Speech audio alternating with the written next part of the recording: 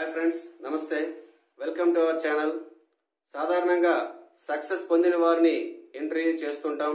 కానీ ఈరోజు సక్సెస్ కోసం ఎదురు చూస్తున్నటువంటి ఒక టాలెంటెడ్ కుర్రాడిని ఇంటర్వ్యూ చేయడానికి మనం సిద్ధంగా ఉన్నాం. నమస్తే అండి శంకర్ దిలీప్ కుమార్ గారు. మరి మీరు మీరు రాసినటువంటి పాటలు నేను యూట్యూబ్లో చూశాను. అదే బాలసుబ్రహ్మణ్యం మీద గురువు గారి మీద తర్వాత అమ్మ మీద రాసినటువంటి పాటలు యూట్యూబ్లో చూశాను. చాలా చక్కగా ఉన్న మంచి సాహిత్యం అందించారు. మరి మిమ్మల్ని మీ టాలెంట్ని పరిచయం చేయాలి ఈ యూట్యూబ్ వేదిక ద్వారా మన చిన్ని మార్పు కోసం ఛానల్ పరిచయం చేయాలనే ఉద్దేశంతో మీకు ముఖాముఖి కోసం పిలిచాను. మరి మీరు ఈ ప్రయత్నాలు అనేవి సినిమా రంగం కోసం ప్రయత్నం చేస్తున్నారా? లేకపోతే మీరు ఇంకే రంగం వైపు వెళ్ళడానికైనా ప్రయత్నం చేస్తున్నారా? మీకు సాహిత్యం మీద అభిరుచితో చేస్తున్నారా? ఏంటి మీ ఉద్దేశం అసలు?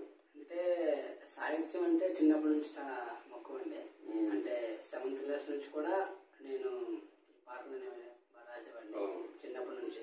అంటే యాక్చువల్గా ఫస్ట్ ఈ పాట అనే దానికంటే మాటలు అంటే చిన్న చిన్న కవితలు కానీ. సో అలాంటి బాగా రాయడం బాగా నాకు వచ్చేది అనమాట చిన్నప్పుడే రాసుకున్న ఒక కవిత ఒకటి ఉంది. అదేంటంటే చాలా మంది ప్రకృతిని చూస్తే మనసు హాయిగా ఉంటదంటారు ఓ. అది నిజమో కాదో తెలియదు కానీ. నిన్ను చూస్తే మాత్రం నా మనసు ఎంత హాయిగా ఉంటుందో అది నేను మాటల్లో చెప్పలేను ప్రియ. సో ఇలాంటివన్నీ ఒక చిన్న చిన్న ఓ. రాయడం బాగా అలవాటు అయ్యి ఆ తర్వాత నాకు బాగా కొత్త పొంగల్ ఒక సినిమా ఉంది కదా సార్.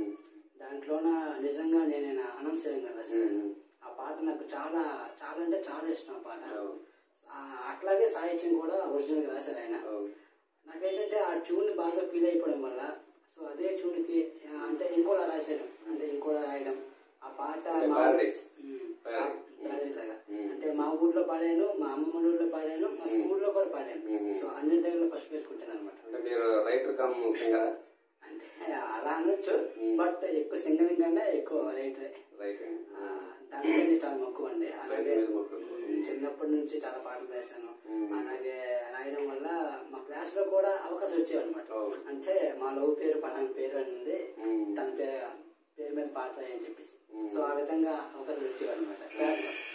ఇంకో విషయం ఇంకో గొప్ప విషయం ఏంటంటే చిన్నప్పుడు నేను రాసుకున్న పాటలు మా క్లాస్మేట్స్ ఫ్రెండ్స్ అందరూ కూడా అవడేలాగా పాడేవారు. ఒక ఫోర్ ఫైవ్ మెంబర్స్.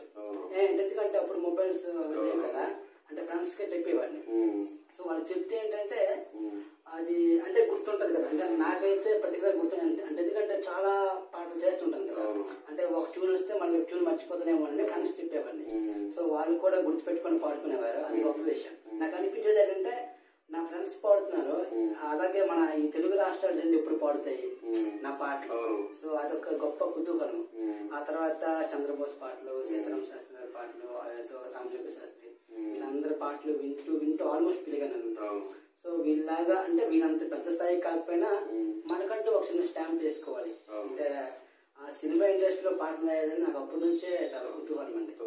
సో ఆ- కోరికే ఆ ప్రేమ దానిపైన ఉన్న అభిరుచి నాకు ఇంత స్థాయికి మరి మన వ్యూవర్స్కి మీ టాలెంట్ చూపించడానికి మీరు రాసినటువంటి పాటల్లో ది బెస్ట్ సాంగ్స్ ఒక రెండు మూడు ఏమేమి రాశారు? ఎలా దాని ట్యూనింగ్ ఎలా ఉంది? ఏంటి? ఒకసారి వినిపించండి. అంటే నేను సొంతంగా నేను ట్యూన్ కట్టుకొని నా పదవ తరగతిలో చివర లాస్ట్ అంటే వీడుకోలు సభ అయినప్పుడు పాడింది పాట.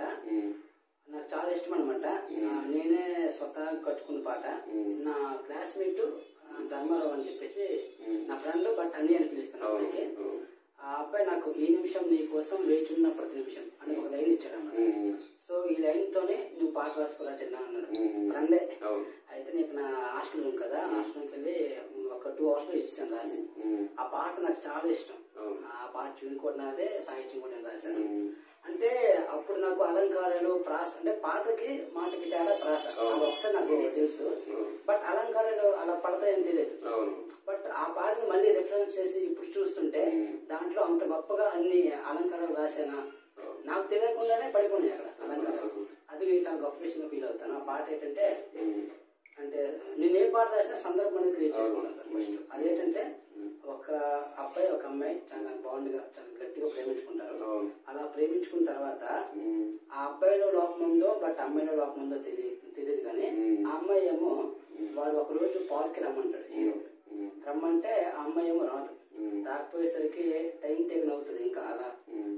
తను అప్పటికే రాకపోయేసరికి ఎందుకు రాదని కాల్ చేస్తాడు. అప్పటికే రాదు. ఉమ్, లాస్ట్కి ఏమో వాడి ఇంటికి వచ్చేసి ఎందుకు రావని అడిగితే నువ్వు నాకు ఇష్టం లేదు చీపు ఇలా అంటది అనమాట ఇలా ఇలా అంటది. అనేసరికి వాడు ఆల్రెడీ ప్రేమించి ఉంటాడు కదా సో అవన్నీ జ్ఞాపకం తెచ్చుకొని సో దాని మీద అంటే ఆ పాయింట్ ఆఫ్ మీద మాట్లాడడం జరిగింది సార్. అదేంటంటే ఈ నిమిషం నీ కోసం వేచున్నా ప్రతి నిమిషం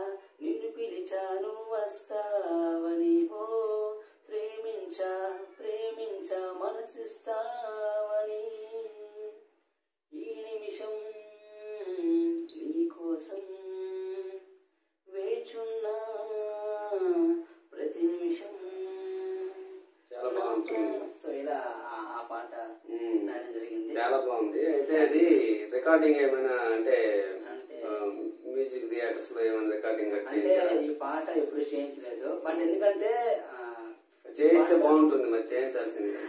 మరి నాకు అంటే ఇలాంటి గొప్ప ట్యూన్స్ గొప్ప సాహిత్యం నాకు అంటే ఇండస్ట్రీకి వెళ్ళాలని నమ్మకం ఉంది. అంటే వెళ్తానని నమ్మకం నాకు ఉంది. సో అలాంటప్పుడు విన్నప్పుడు అలాంటి ఏదో చిన్న చిన్న సినిమా కానీ ఇలాంటి పాటలు తగిలితే అవును. ఇంకా నాకంటూ ఒక చిన్న గుర్తింపు వస్తుంది కదా అని ఇంకా నేను చేయలేదు పాట. ఇప్పటి వరకు ఎన్ని పాటలు రాశారు మీరు? వందకు పైగా రాశాను సార్. వంద పైగా పైగా రాశాను. సాధారణంగా ఫిల్మ్ ఇండస్ట్రీ వైపు వెళ్ళాలంటే బ్యాక్గ్రౌండ్ ఉండాలి. మరి మీరు నాకు తెలిసి పూర్ బ్యాక్గ్రౌండ్ అని నేను అనుకుంటున్నాను. ఎందుకంటే ఒక దళిత సామాజిక వర్గంలో పేద కుటుంబంలో పుట్టారని విన్నాను. మరి మరి బ్యాక్గ్రౌండ్ లేకుండా మనం ఫిల్మ్ ఇండస్ట్రీలో వెళ్ళడానికి ఏ ధైర్యంతో మీరు ముందుకు వస్తున్నారు నా ధైర్యం అంతా నా నమ్మకమే సార్. అంటే ఏదైనా అవసరం చాలా అవసరం.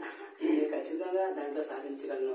అనే ఒక కుతూ ఒక కుతూహలం మీద నాకు ఉంది. కోరిక ఆ పట్టుత్వం నాకు ఉంది. మా నాన్నగారు పెయింటర్ అండి. మాది మా ఊరు శ్రీకాకుళం జిల్లా మనసా మండలం హరిపురం గ్రామం. మా నాన్నగారు పెయింటర్ అని శ్రీనివాసరావు సంఘ శ్రీనివాసరావు. మా అమ్మ అంగన్వాడీ టీచర్ సంఘ జానకమ్మ. మా తమ్ముడు సంఘ ప్రవీణ్ కుమార్. తమ్ముడికి బ్రెయిన్ ప్యాషన్ సరిగ్గా కనిపించవు.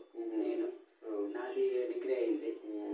ఇంకా నాకు నాకు నాకు అనిపిస్తుంది ఏంటంటే అంటే ఫ్యూచర్లో నాకు ఎంత ఒక వన్ ల్యాక్ టూ ల్యాక్ ఇచ్చిన జాబ్ వచ్చినా సరే దాంట్లో నాకు సంతృప్తి అయితే దొరకదు సార్ ఖచ్చితంగా చెప్తున్నాను. అంటే ఆ అంటే జీవనం గడకపోవచ్చేమో అంటే అంత అన్ని డబ్బులు రాకపోతే జీవనం గడకపోవచ్చేమో కానీ సంతృప్తిగా అయితే జీవించలేదు సార్ ఖచ్చితంగా. ఎందుకంటే చిన్నప్పటి నుంచి ఆ పాటలు వింటూ ఆ పాటలు రాయాలి దాంట్లోనే పెరిగాను కాబట్టి ఎలాగైనా సినిమాలో రాయాలి. అంటే ఒక రామజోగ శాస్త్రి ఒక అనంత్ శ్రీరామ్. ఒక సిరివెన్నెల వాళ్ళంతా కాకపోయినా వాళ్ళ పక్కన ఒక చిన్న ఒక స్థానాన్ని సంపాదించుకోవాలి అనే ఒక నమ్మకం ఒక పట్టుత్వం అయితే నాకు ఇంకా ఇప్పటికీ ఉంది అయితే ఇప్పుడు మీరు బాలసుబ్రహ్మణ్యం గారు హాస్పిటల్లో ఉన్నప్పుడు మంచి సాంగ్ రాసి రికార్డ్ చేసి మరి పెట్టారు. పెట్టాను సార్ అది అది ఒకసారి పాడి మన వ్యూవర్స్ కోసం. పాడతాను సార్ తప్పకుండా. ఆ పాట ఏంటంటే ఫస్ట్ ఆఫ్ ఆల్ మన జీవనం చెప్పేసి మా అక్కడ సోంపేట మా కానిస్టేబుల్ ఆయన. ఆయన పార్ట్ టైం గా సో ఇలా మ్యూజిక్ పని పిచ్చితో ఆయన చేస్తుంటారు. నాకు ఇలా పరిచయం అయిన తర్వాత ఆయన చేశారన్నమాట. నాకు ముందు అత్యాచారాల మీద ఒక పాట చేశారు. అత్యాచారాల మీద. పాట చేశారు. ఆ తర్వాత ఈ బాలు అంటే ఆయనే ఫోన్ చేసి బాలుకి ఫోన్ చేసి తమ్ముడు ఆయన కూడా ఫ్యాన్ అనమాట బాలు గారికి చాలా అభిమాని. ఆయన అన్నారు "ఉమ్, బాలు గారు ఉన్నారు కదా హాస్పిటల్లో ఉమ్. ఆయన కోసం ఒక మంచి పాట రాద్దాం అని అన్నారన్నమాట. సో ఆయనే ఇచ్చారు నాకు. ఆయనే ఇచ్చి ఆ ఫస్ట్ లైన్ కూడా ఆ- ఫస్ట్ పంక్తులు కూడా ఆయన ఇచ్చారు. మేలుకోవయ్య తిరిగి లేచి రావయ్య అని చెప్పేసి ఆయన ఇచ్చారు. ఆ తర్వాత ఇక నా మొత్తం నకారము అకారం ఇచ్చారన్నమాట. ట్యూన్. ఆయన ఇచ్చినాక ఇక నేను రాశాను ఆ పాట. వినిపిస్తాను సార్. తప్పకుండా వినిపిస్తాను.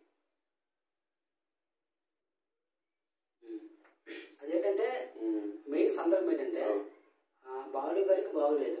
అంత పెద్ద గాయకుడు గాన గంధర్వుడు ఆయన బాగులేదు హాస్పిటల్లో ఉన్నారు. కోలుకోవాలి కోరుకుంటున్నాం అని ఒక నినాదంతో మనం పాడుకున్న పాట. కోలుకోవయ్యా తిరిగి లేచిరావయ్యా మేలుకోవయ్యా మదిని గెలుచుకోవయ్యా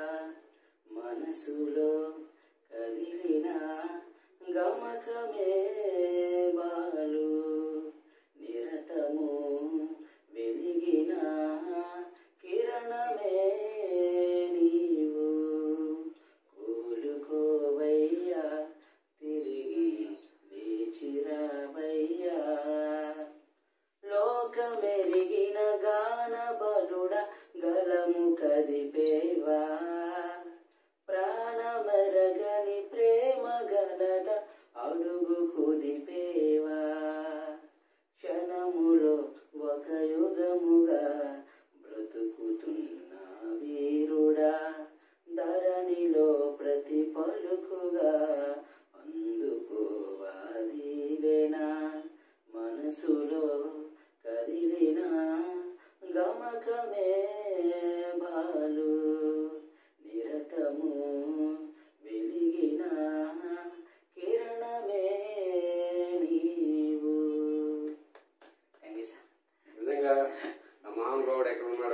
ఈ పాట ఆయన నిజంగా వినుంటే మన మనల్ని విడిచిపెట్టి వెళ్ళి ఉండేవాళ్ళు కాదు నిజంగా. అంటే ఆ, ఆయన ఫస్ట్ మంచి సాహిత్యము చాలా సంతోషపడి ఉండేవాళ్ళు బాలు బాలు గారు వినుంటే. నా అదృష్టం మరి లేదు నాకు. అంటే ఈ పాట నేను రాసే అంత నాకు అనుభవం ఉందో తెలియదు కానీ ఆయన మీద ప్రేమతో అలా దొరికేసే పదాలు. సృజనాత్మకతకి అనుభవంతో పని లేదని మీరు నిరూపిస్తున్నారు. ఎందుకంటే సృజన అనేది వయసుతోనే అనుభవంతోనే సంబంధం ఉండదు. క్రియేటివిటీ ఉంటే తక్కువ వయసులో కూడా చాలా అద్భుతాలు సృష్టించగలరు. అనుభవం ద్వారా వచ్చేవి కొన్ని విషయాలు వేరు. ఇది సృజనాత్మకత నాకు అంటే ఇదివరకు నాకు ఏ సందర్భాలు వచ్చినా అంటే రాసిస్తున్నాను ఒక నమ్మకం ఉండేది. అవును. ఆయన ఫోన్ చేసి బాలు గారి కోసం పాట రాయాలి అన్నప్పుడు నాకు ఒక శవరం వచ్చింది అనమాట రాయగలను రాయలేనా? ఒక భయం. ఆ భయము భక్తిగా మరి పాట వచ్చింది. నిజంగా చాలా బాగుంది. ఈ పాట ఆయనే పాడారన్నమాట. ఆహా. సోంపేట కానిస్టేబుల్ ఆయన మీరు కూడా బాగానే పాడుతున్నారు. ఏదో అంటే అంటే అంటే రైటర్కి ఎంతో గొప్ప దాన్ని ఆ భావాన్ని వ్యక్తీకరించే పద్ధతి రావాలి కదా. రావాలి. అది మెయిన్ అనమాట. ఇంకోటి చెప్పాలి సార్ మీకు. ఎందుకంటే మన నాకని కాదు నా ద్వారా అదే మన ఛానల్ ద్వారా మన వ్యూవర్స్కి ఈ టాలెంట్ అనేది ఇండస్ట్రీ వరకు చేరాలని వాళ్ళకి కూడా చెప్పు నాకు అంటే మెయిన్ ఏంటంటే నేను tenth inter degree first year వరకు నా పాటలు రాయడం ఒక ఉమ్. డిగ్రీ ఫస్ట్ ఇయర్లో నాకు నాకు ఒక తెలియని ఒక నాలో ఒక వేడిని పెంచే ఒక సారథి ఒక వారధి మా మామయ్య తలగాని కృష్ణారావు అని చెప్పేసి మా మా రిలేటివే. నేను ఫస్ట్ యూట్యూబ్లో పెట్టాను ఒక పాట. ఆ పాట పెట్టిన తర్వాత అందరూ మా ఊర్లో తిట్టేవారు. ఏంటి ఎప్పుడు పాట పెట్టుకుని ఉంటాడు సాధారణంగా ఇలాంటి కళలు ఉన్న వాళ్ళకి తిట్లు ఎక్కువ ఉంటాయి మొదట్లో సక్సెస్ అయిన అంతా పొగుడతారు. అలా తిట్టేవారు. బట్ అంతమంది తిట్టిల్లో ఒక ఒక పొగడతగా వచ్చింది అనమాట. అదే నా సారథి నా వారధి మా మామయ్య మ్మ్. తలగాని కృష్ణారావు గారు.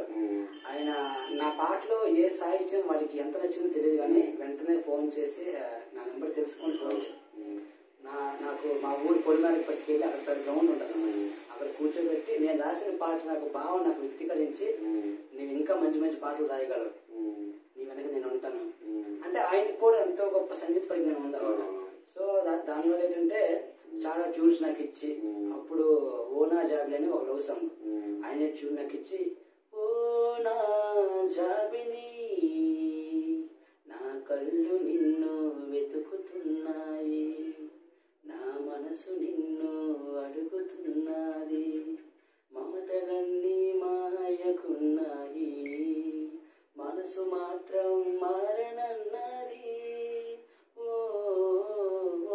నా జాబిలి. అనే ఈ నకారము నాకు ఇచ్చారు ఆ పల్లవి చరణాలు అన్నీ నాకు ఇచ్చే నాకు ఒక టూ డేస్లో పాట కావాలి అన్నారు మా మామయ్య. చూడ పాట కావాలి. కావాలి. అయితే నేను అంటే ఆయన దగ్గర ఇంప్రెషన్ కొట్టాలి. ఎంత ఏం చేశానంటే ఆ రోజు సాయంత్రం పాట పూర్తి చేస్తాను. పాట పూర్తి చేసాను పెట్టిన తర్వాతే అంతగా పూర్తి చేసామని ఆయన కూడా మంచి బాగుంది ఆ తర్వాత ఆయన ఆయన నేను కలిసి ఇప్పుడు నాకు సరిగ్గా సంగీతం లేదు కానీ ఒక యాభై పైబడి పాటలు రాసుంటాం. ఉహు. ఆయన ట్యూన్ ఒక్కొక్కసారి డమ్మి దిరికి ఇచ్చేస్తారు ఆయన. ఒకసారి డమ్మి దిరికి ఎందుకంటే ఆయన కూడా స్వతహా కవే. మంచి రైటర్ అనమాట. సో ఇప్పుడేంటే కొంతమందికి సంగీత దర్శకులు ఏంటంటే వాళ్ళు వచ్చేస్తుంటాయి అన్నమాట. అవును. పదాలు. సో వాళ్ళ పే- వాటి బేస్లో ఇంకో కొత్త పదాలు రాసిన వాళ్ళకి రుచించదు. సో అందుకనే వాళ్ళు రాసిన పదాలు పెట్టేవాల్సి వస్తుంది అలాగా ఆ, చాలా పదాలు ఆయనకు కూడా నాకు సహకారం చేశారు. చాలా చాలా పాటల్లో. చాలా పాటలు రాశాను. గా గురువు కోసం పాట రాశాను. అది కూడా ఆయన ట్యూన్ చేశారు అన్నమాట అదే ఇప్పుడు అడుగుదాం అనుకున్నా గురువు కోసం రాసిన పాట కూడా చాలా బాగుంది ఒకసారి మన వ్యూవర్స్కి ఆ పాట. సార్ ఆ పాట నేను ఇప్పుడు ఎంతో గొప్ప ఈ యొక్క సాహిత్యం ఈ పాటల మీద మమకారం రాస్తున్నానంటే ఇంత బాగా రాస్తున్నానంటే. దానికి కారణం నా పునాది నా నేను చదువుకున్న school. Shankarameshwara school K Narayana school. Kuntukota. అక్కడే చిన్నప్పటి నుంచి చదువుకున్నాను. అక్కడే పెరిగాను అక్కడే దెబ్బలు కాసాను చాలా చాలా అంటే చాలా అల్లరి చేశాను. అసలు రోజుకో అల్లరి. టాలెంట్ ఉన్న వాళ్ళకి అల్లరి అనేది కామన్ అది కానీ నేను ఎక్కువగా మా స్కూల్లో నేను నేర్చుకునేది ఏంటంటే దేన్నైనా సొంతంగా చేయడం. సొంతంగా రాయడం. క్రియేటివిటీ క్రియేటివిటీ సో అదే నాకు ఇప్పుడు యూజ్ అయింది అనమాట ఈ పాట లేటెస్ట్గా బ్యాండ్లకు మా సార్ చనిపోయారు. శంకరమేశ్వర ఆయన చనిపోయిన తర్వాత ఈ పాట రాసి ఆయనకి డెడికేట్ చేశాను. అంటే మేడం గారికి కూడా కలిపి మా మేడం గారికి కూడా కలిపి డెడికేట్ చేశాను. ఇది కూడా ట్యూన్ మా మామయ్య తరగం కృష్ణారావు గారే ట్యూన్ ఇచ్చారన్నమాట. దానికి నేను ఒక్క డమ్మి దగ్గర కూడా ఈ పాటలు ఎవరు ఓన్లీ నకారం ఇది ఇచ్చారన్నమాట. మొత్తం రాశాను. అంటే ఇప్పుడు సమకాలీన ట్రెండ్కి మరీ అంత ఎక్కువ సాహిత్యం రాసినా రుచించదు. అవును. కానీ అలాంటిది ఈ పాట మంచి సాహిత్యం రాసినాక కూడా. ఒక యాభై వేల మంది చూశారు యూట్యూబ్. నాకు చాలా సంతృప్తి తెచ్చింది ఆ పాట ఏంటంటే ఒకసారి. గురుపాదం తాకిన ఆ నిమిషము కన్నా గుణపాఠం నేర్పిన ఏ యుగములు మిన్న గురు మార్గం చూపిన ఆ అడుగులు కన్నా గణతంత్రం సాగిన ఏ పదములు మిన్న Guru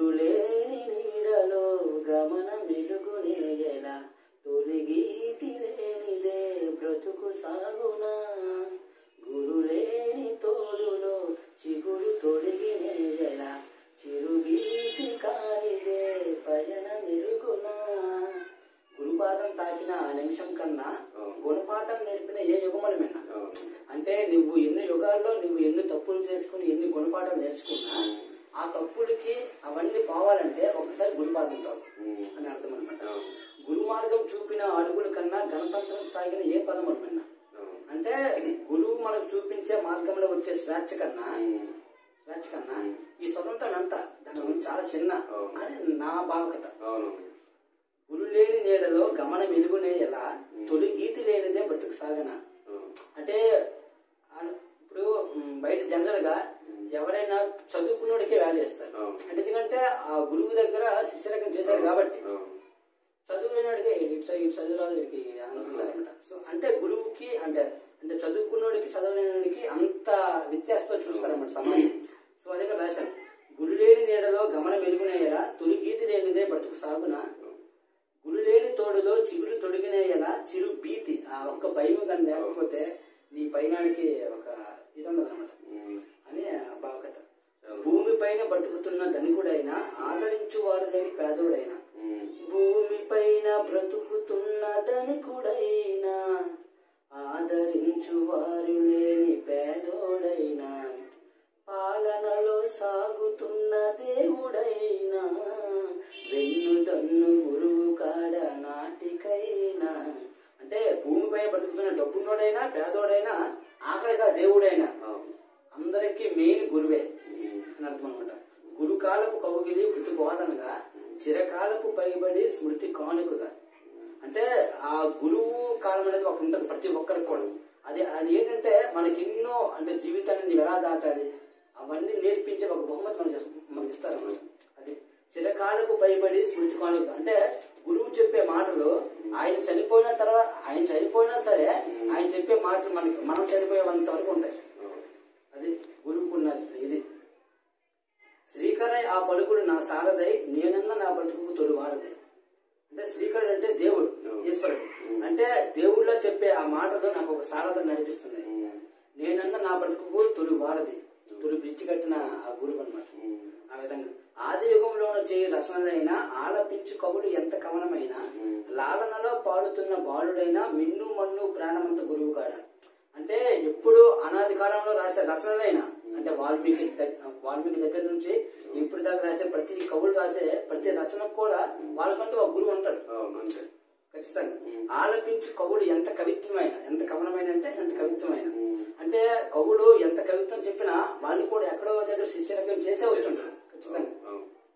లాలనలో పాడుతున్న బాలుడైన లాలనలో పాడుతున్న బాలుడు అంటే చిన్న బాబు. బాబు ఎవరు గురువు? వాళ్ళ అమ్మే గురువు అంటే వీరందరికీ మిన్ను మన్ను. మిన్ను అంటే ఆకాశం మన్ను అంటే భూమి. అంటే భూమి నుంచి ఆకాశం అంత వరకు కూడా ప్రాణం అంతా గురువే వీళ్ళందరూ కూడా. అనురాగపు ఆకృతి జనదేశ్వరిగా ప్రియ రాగపు పెన్నిది బ్రహ్మింటిదిగా. అనురాగపు ఆకృతి జనదేశ్వరి జనది అంటే తల్లి అంటే ఈశ్వరి దేవులాగా ఉమ్. అంటే అనురాగపు ఆకృతి అంటే ఆకారం దేవుడిలా ఉంటుంది మ్మ్. ప్రియ రాగపు పెన్నిది బ్రహ్మింటిదిగా. బ్రహ్మ ప్లస్ ఇంటిది. బ్రహ్మింటిది అంటే సరస్వతి దేవి. అంటే సరస్వతి మనకి విజయ చెప్తారు కాబట్టి గురువు అని చెప్పేసి. సో ఈ విధంగా ఈ పాట అనేది జరిగింది. అంటే చాలా మంది అంటే యూట్యూబ్లో కూడా ఏం పెట్టారంటే కామెంట్లో నాకు ఇచ్చిన అంటే నా కామెంట్ నేను చెప్పుకోవడం చాలా తప్పేమనిపిస్తుంది కానీ చెప్పాలనిపిస్తుంది. అవును. సిరివెంకట శేఖరామ శాస్త్రి గారు రాసామని దానికి ఒక డెబ్బై లైకులు. చాలా సంతృప్తి ఇచ్చింది అనమాట ఈ పాట. ఎందుకంటే అంత గొప్ప అది ఒక ఒక కవితో నన్ను పోల్చినప్పుడు ఎవరికైనా అది ఒక గొప్ప విషయమే. ఒక అంటే ఒక టీచర్గా నాకు కూడా చాలా సంతృప్తి ఇచ్చింది పాట థ్యాంక్ యూ సార్ అమ్మ గురించి ఒక పాట రాశాను అన్నారు కదా? అవును సార్ ఆ పాట ఒకసారి లిరిక్స్ ఒకసారి వినిపించండి ఈ పాట రాస్తున్నప్పుడే చాలా పదాలు మా అమ్మాయి కూడా రాస్తారు ఆల్మోస్ట్. పల్లె వరకు దగ్గర దగ్గర ఉమ్. దాని ఇంకా చరణాన్ని నేను ఇంకా నా శైలి నేను మొత్తం ట్యూనింగ్ కూడా అయింది. ఆయన చూపించారు.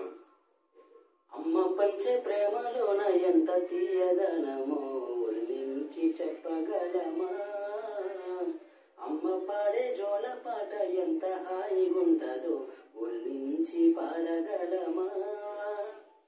తల్లి తల్లి నీ ప్రేమను పొందక జన్మే ధన్యమైనది. అమ్మా అమ్మ నీ రుణమును తీర్చుట ఏ జన్మకు సాధ్యమైనది?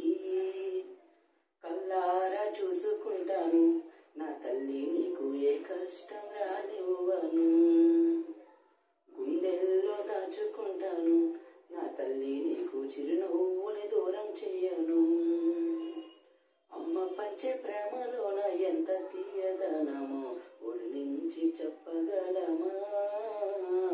అమ్మ పాడే జోల పాట ఎంత హాయిగుంటదో ఒళ్ళించి పాడగలమా? పొద్దున్నే లేచి నుండి సాయంత్రం అయ్యే వరకు మా కోసం కష్టాలే చూసావు.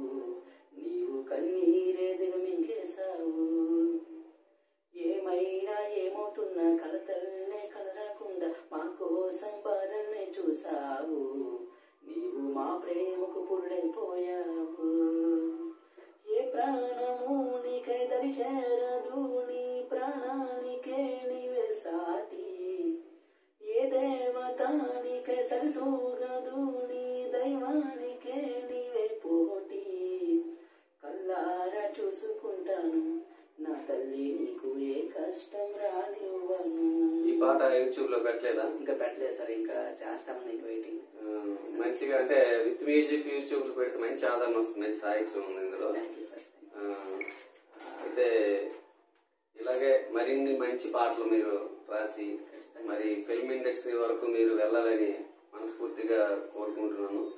మరి మీరు మంచి సక్సెస్ సాధించాలని. ఎందుకంటే నీలో మంచి కవి దాగి ఉన్నాడు.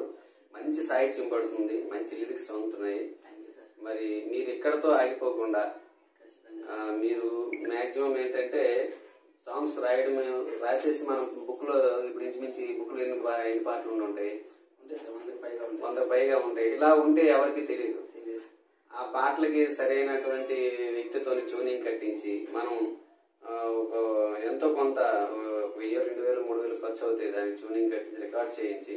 దాన్ని యూట్యూబ్లో పెడితే మీ సాహిత్యం తాలూకు విలువ అనేది చాలా మందికి తెలుస్తుంది. ఆటోమేటిక్గా కొంతమంది మ్యూజిక్ డైరెక్టర్స్కి ఆటోమేటిక్ డైరెక్టర్స్కి తర్వాత ఖచ్చితంగా మీకు కాల్ అనేది వస్తుందని మేము అనుకుంటున్నాం మరి ఆ రోజు రావాలని నేను కోరుకుంటున్నాం దానికోసం వెయిటింగ్ చేస్తున్నాను సార్. ఒక్క అవకాశం వస్తే దాన్ని బాగా సద్వినియోగపరుచుకొని ఇంకో పది అవకాశం రాబెట్టుకుంటాం సార్ ఖచ్చితంగా. దిలీప్ గారు ఆ, చెప్పండి సార్. ఇప్పుడు ఏవైనా ఒక సందర్భం గానీ లేదా నాలుగు ఏవైనా పదాలు ఇచ్చి ఒక పాట రాయమంటే ఇప్పటికిప్పుడు రాయగలరా రాస్తాను సార్. ఆ శక్తి నాకు ఉంది ఖచ్చితంగా రాస్తాను రాస్తారా? రాస్తాను ఆ, చిలిపి సిగ్గు ప్రేమ అల్లది ఈ నాలుగు పదాలు వచ్చేటట్టు ఒక పాట తయారు చేయండి. చిలిపి సిగ్గు ప్రేమ అల్లరి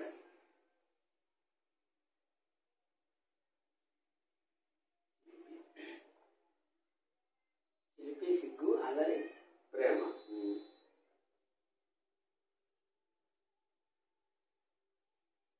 చిలిపి అల్లరి నిన్నో చూసా నా సిగ్గును నేనే విడిచా ఓ ప్రేమ. చిలిపి అల్లరి నిన్నో చూసా నా సిగ్గును నేనే విడిచా ఓ ప్రేమ.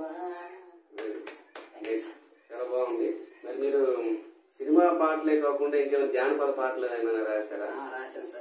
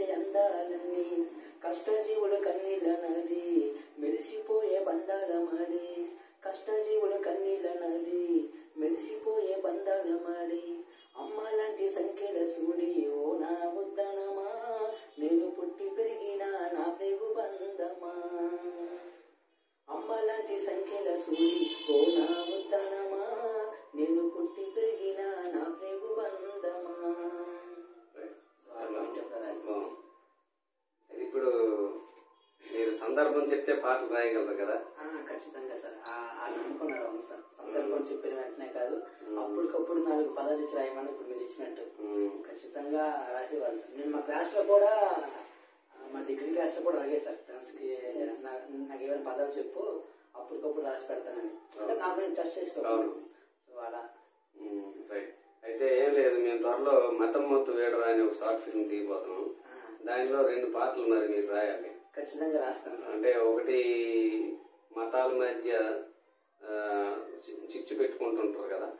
అలా కాకుండా మత సామరస్యం ఉండాలి. మతం ముందు పుట్టింది కాదు మానవుడు ముందు పుట్టాడు తర్వాత మతం పుట్టింది. మతం కన్నా మానవత్వం మానవ మిన్న. మానవత్వం మిన్న మతం కన్నా స్నేహం మిన్న. ఇలాంటి ఆ భావన వచ్చేటప్పుడు భావన వచ్చేటట్టు ఒక పాట. అలాగే ముగ్గురు ఫ్రెండ్స్ ఉంటారు. ముగ్గురు ముగ్గురు మూడు మతాలకు చెందినటువంటి ఫ్రెండ్స్ చిన్నప్పుడు వాళ్ళు. వాళ్ళకి ఎటువంటి చిన్నపిల్లలకి కల్మసం ఉంది పెద్ద అయిన తర్వాత ఇవన్నీ వస్తుంటాయి మనకి. వాళ్ళు కల్మసం లేకుండా కలిసిమెలిసి ఉన్నటువంటి స్నేహితు స్నేహితులు చిన్నపిల్లలు వాళ్ళు. వాళ్ళ ఫీలింగ్స్తో చక్కగా ఒక మంచి పాట. అంటే రామ్ రహీం రాబర్ట్ అని ముగ్గురు ఫ్రెండ్స్ ఉంటారు మన స్టోరీలో. అందులో వాళ్ళు చిన్నప్పుడు చాలా క్లోజ్గా ఉంటారు అనమాట వాళ్ళు చాలా అంటే చాలా హ్యాపీయెస్ట్ మూమెంట్స్తో ఒక మంచి స్నేహం మీద ఒక పాట. మరి రాసి వాళ్ళు ఓకే థ్యాంక్ యూ ఇది ఫ్రెండ్స్ శంక దిలీప్ కుమార్ అనే ఈ కుర్రాడికి మంచి టాలెంట్ ఉంది. ఈయన ఒక్క అవకాశం కోసం ఎదురు చూస్తున్నాడు. మరి ఆ ఒక్క అవకాశం రావాలని మన ఛానల్ ద్వారా మనం వేడుకుంటున్నాం. థ్యాంక్ యూ ఫ్రెండ్స్ నమస్తే.